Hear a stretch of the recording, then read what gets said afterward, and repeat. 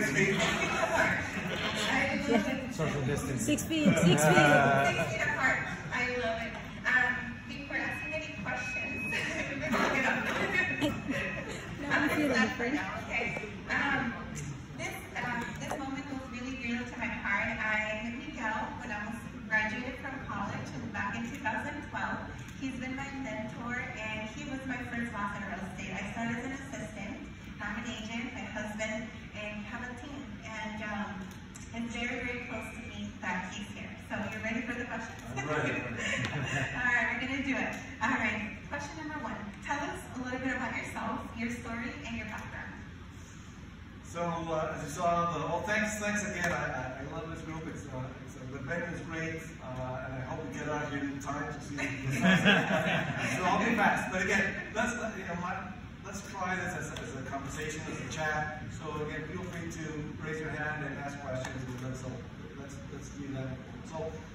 Uh, my story, raised, uh, born and raised in Mexico City, went to school in Mexico City, and became a civil engineer down there. Chilango. My family from Aguascalientes. I was, I, was, I lived in Mexico City, but with, with my heart in the inner part of the, of the country. So, um, as many of you know, you know, Mexico, unfortunately, every time we had a new president, there was a little, a little bit of a dip in the economy. So in one of those dips, I decided to come to San Diego. Uh, my sister was already living here. So I got here to San Diego and I got involved in construction. Uh, after a while, again, there was another dip in, in the economy here now in 91. And my sister was a state planning attorney. And she said, well, what are you going to do now? That's when Vegas started working, uh, growing very much. I said, I, I want to take my family to Vegas. So I said, well, you know, I've got some uh, clients from Mexico who have, you know, seven properties here in San Diego. They're looking for somebody to help them manage their business. So I thought, okay, well, let me talk to them. So they hired me on the spot. And that started my second career, which is a, uh, a trustee or a private fiduciary, managing, I ran what, what it's called in the industry a home office for about five families, four from Mexico, one from China, managing all their affairs here. In that process, the courts here in San Diego thought, well, maybe you could also handle other issues that are called conservatorships, and I don't know where the attorney is, but because oh, there you are, conservatorships, special needs trusts, which I thought, okay, cool. I was getting a lot of cases, which I then regretted because they were. It, it's a really, really tough profession uh, to, to be dealing with those that situation. So I did that for about 10 years. In the process of, of managing trust and estates, my clients had to sell homes, I wanted to buy homes, so I got involved, I started hiring realtors, and I started liking real estate. So at one point I said, you know what, I, I this is better. You know, I, I'm going to leave this, I'm going to start doing real estate. So my colleagues who were uh, private fiduciaries and trustees, once I started getting real estate, selling real estate, said, well, now that you know how we work, now that you know our world here, now that you know the judges or the judges know you, well, help us sell these properties. So, we've been, that's been our, uh, our angle ever since now, uh, selling properties focused on probate trust. And of course, then all, then, you know, we, we had the, the wave of people coming in from Mexico at one point through some of the other recessions that we had. So, uh, Pamela here in our team, she's the one who helps us with all the international, uh, markets and, uh, it's, it's been it's been an interesting, you know, I'm on my third career. I thought, I love when I when am I going to get it right, you know? Know, civil engineer, my fiduciary, not a realtor, but it all, in, a, in an interesting way, it all fits well. Because then our typical call that we get right now from our best clients, which are our attorneys, said, Miguel, guess what? You know, my client passed away and she's got four properties. So they know we understand construction. Go and check them out. So we go and see the house, we understand construction. Then, then we have a meeting with them. So, okay, this is the deal. Then they tell us the case. Well, there, are three children, two hate the third one, and, and then so they, they give us feedback on, on, on that because you have to be careful as how to you handle the the sale. Because you know, well, is somebody going to contest the sale? Is a disgruntled uh, son's going to oppose everything you do? So it puts you on high alert and document everything. Uh, and then, of course, then we've been doing sales. So it all tied in, not by design. I wish I could tell you I designed it. You know, that was my plan. Circumstantial, but uh, you know, we, we, we got to this point where we make it easier, at least for the attorneys to hire us. We say, okay, take care of it. Call me when you're done. what a beautiful, beautiful story. You know, like an engineer is a profession and may give me the best. You know, like hopefully one of the things that I have a sneak peek from his systems. You know, you need to talk to him about his systems. You know, because having that mind of an engineer, I think for us as realtors, we love love to be out and about, right? But he is very disciplined. You know, so thank you for sharing this, and that is amazing. Um, second question: What piece of advice you can share with a brand new real estate agent who's just getting started, especially in this shifting market?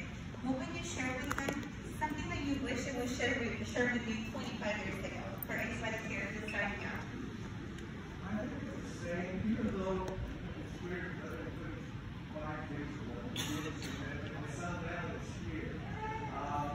People, like, you know, we've been working together now for five years. and it was, uh,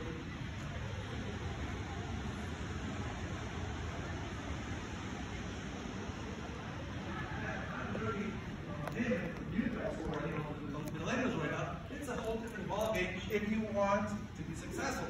Otherwise, I would have been doing it the same old way, and I know I would be your average. But then uh, he's helped to look at it. And, uh, no, Dad, that's that's that's old that's old school. That's it. And I kind of said, just okay, let it go. So number one, embrace change.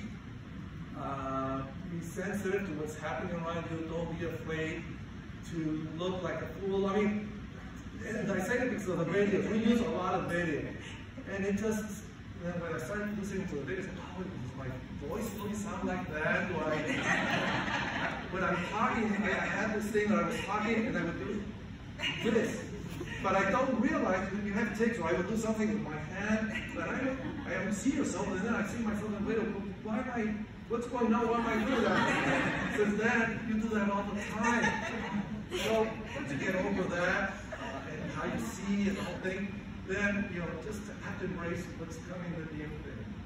Uh, the other thing is uh, open houses. I am, you know, I'm an engineer, I'm very square, I'm not very social, so to speak, it's not my natural state. Uh, but open houses, I would, I would go in and I would sit in them, and when they, when they talk to me right now, uh, well, you know, it's not about selling the house, it's about connecting to people. Uh, I, I felt more comfortable because I didn't want to sell. It was kind of know, I don't feel like this.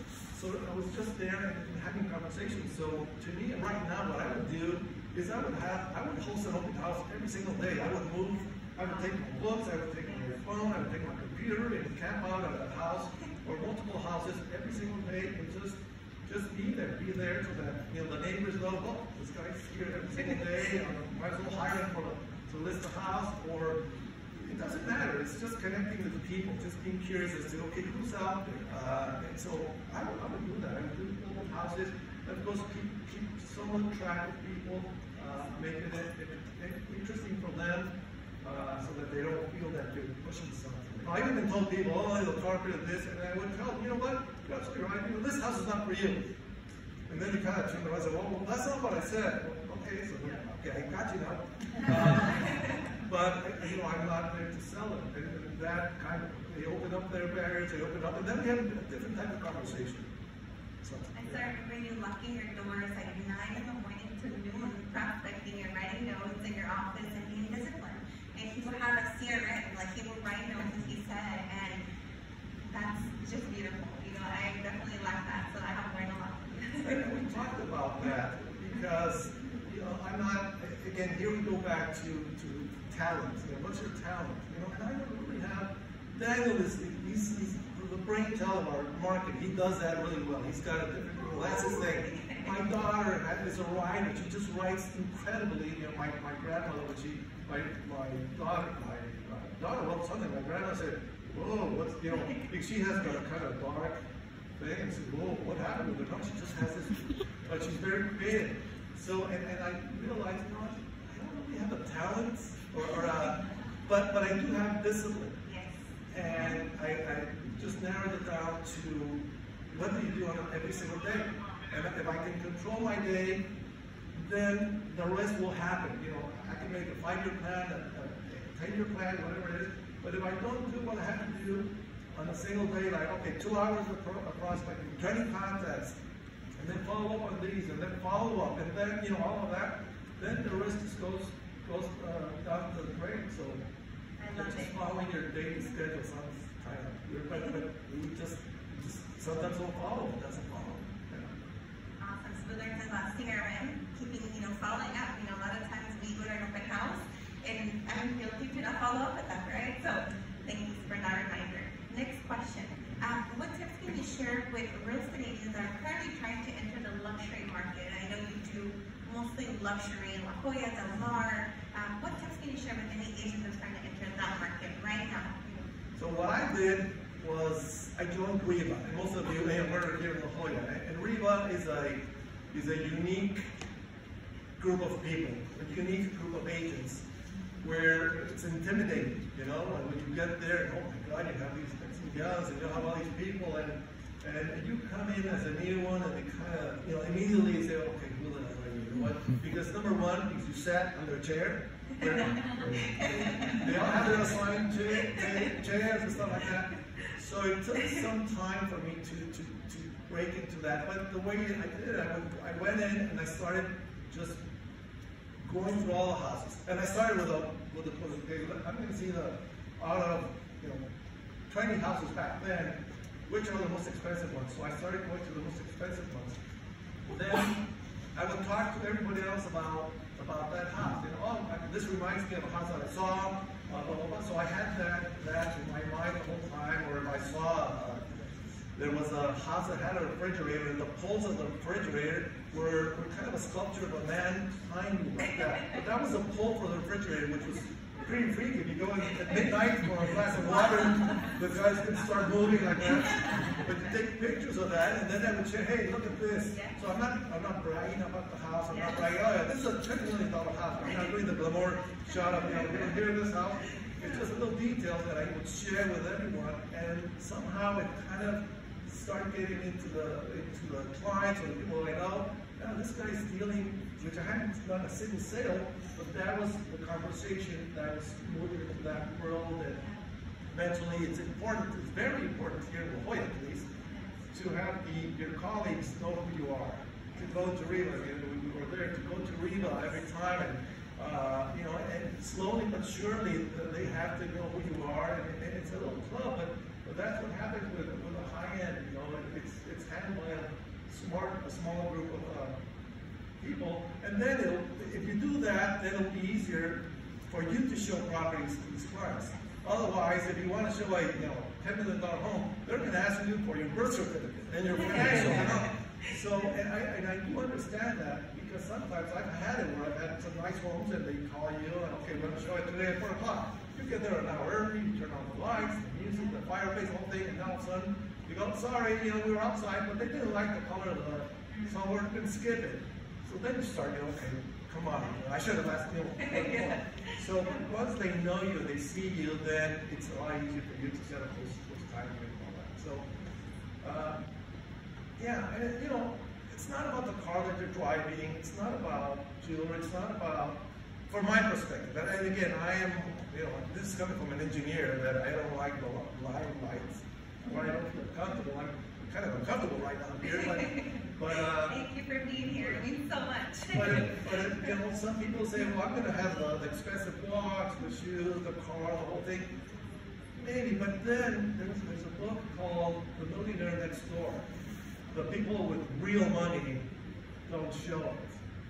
So then, then you have to choose who you want to work with. Uh, those who are kind of low key but have the real money, or those that flash a lot, and you know they might not be the right time for you. So. Thank you. That is so valuable. I mean, writing down in the open their listing and you see that there are marks on the bottom, right? Like you read them, I think, talking about luxury. I mean, they spend, and this is the agent spend time to write about the things that you're saying, right? Like backing appliances and all the different things for us to become knowledgeable. I think it's very important. So thank you so much for pointing that One, out. one last thing on, on the luxury part is also don't focus so much on the house itself, which sounds weird.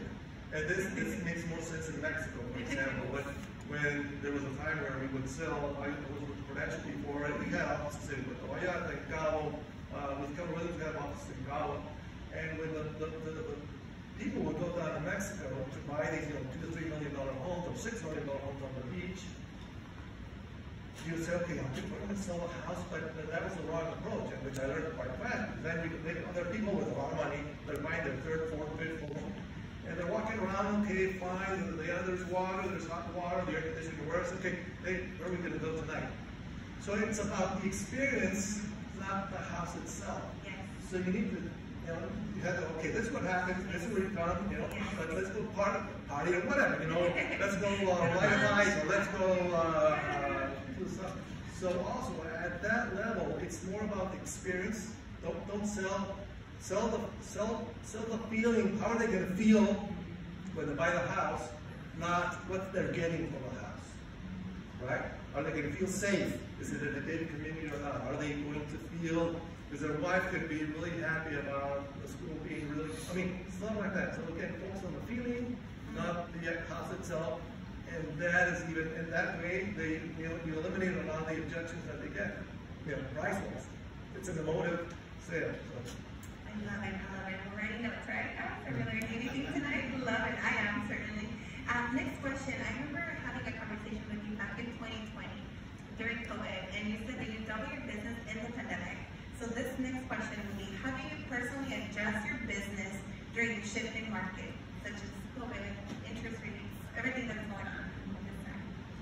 When COVID hit, I remember, because some of you weren't around, but when the recession hit in 2008, I, I gathered the family and said, you guys, I don't know where this is going to go, but the uh, real estate industry is the one that's going to be hit hardest with this. So hang tight, let's button down, and let's, you know, let's cut all the fat of anything and everything that we're doing, both professionally and in lifestyle. And it hit us hard. It hit us really, really hard. Uh, but thanks to that adjustment, uh, we were able to, and I, you know, I had, um, had a team to support. So at one point, you know, we were doing it, uh, with the, the bubble was out, we all, we all were geniuses. We would buy a house for our clients, and Three months later, well, the house is worth now $600,000 more. Well, let's sell it. Yeah. So it was so easy for us to, because the economy just growing, very, growing, double the price of the house.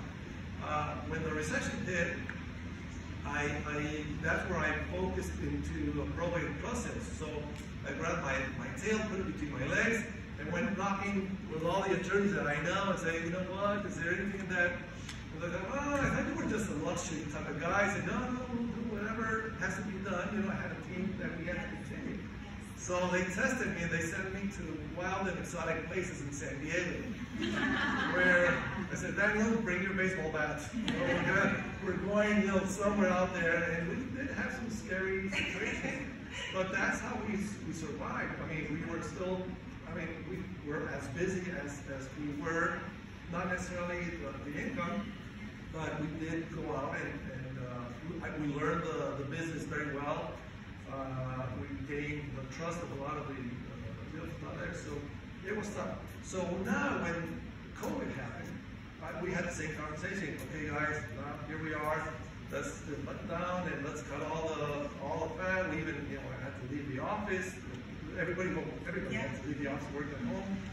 And uh, so that only lasted for two weeks because all of a sudden the phone started ringing and ringing and wow one after the other, and we said, what's going on? And it just took off from there. Combined, of course, with the great, great marketing, which by then now, uh, I don't, know how long you've been with us, but you know, Darren started, you know, put up a, a, a very cool grid of of marketing. And, and by then I was kind of used to doing my funky videos. They're kind of funky. Well, I call them funky because it's not, you know, there's some people who do the you know, the very formal hello, you know, very high and you know, he'll now and then edit when I when I do, you know, when I just get stuck to edit, but sometimes he'll just let it go. Whatever I, I put in my video, it goes out there and somehow we found that group that don't mind that it's not a perfect video. They kind of sometimes when we're late, they're coming, where's your video of the month? Okay, because we put out, you know, thanks to the title companies, we send a video, it's called Things to Do in San Diego. And I'll choose what you, well, now it's Daniel who chooses. What, what did we do last night? Yeah, the horse the races. Races. So we went to the races, and hey guys, I'm here at the races, and this, and I would be great at that. Uh, so we do, we, give our just a like if I just like, like if I was calling my mom, hey mom, look here, look here from the jockeys, and look how tiny they are, and look this, you know, thing, and somehow that is part, oddly enough, and we don't talk anything about real estate. It's just that video and then the list of, of uh, events that the title companies give us. That's our number one um, lead generator because people, hey, I've got some friends who are coming in for vacation, so they'll pass that calendar event. And then they'll call oh, by the way, I've got a friend coming in from here, or we've got a bunch, and just that piece generates most of our leads, especially on the higher end. Uh, the probate stuff is, is, is another story. Yeah. I love it. And you learn about consistency, having a plan. I remember years ago you also like, like the marketing piece is going out on Monday at one o'clock. And it will go like a clockwork. You know, how many times will text were like, we'll do it later, you know? So that's amazing. So I think we're gonna prepare for Q and A's. Uh, I know Michelle has uh, the mic, and we're gonna open the microphone. Everybody has as we wrap up, we can enjoy this beautiful I think we're sunset. small enough now Yes, that yes, anyone has any please. questions, you can Yes, just drop them. yeah. First of all, Mr. Lewinsky, I think you did very well up there. You know, didn't seem nervous at all. I just want to mention a friend of mine recently reminded me that there was a Harvard study of uh, you know I don't know ten hundreds of thousands of people that they did all over the country, and they found that 100% of the time people sound exactly